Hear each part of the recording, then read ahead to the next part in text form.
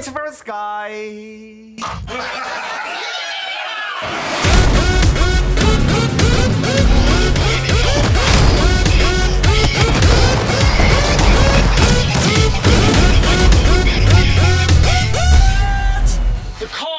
is supposed to crash into the building and then it's supposed to blow up!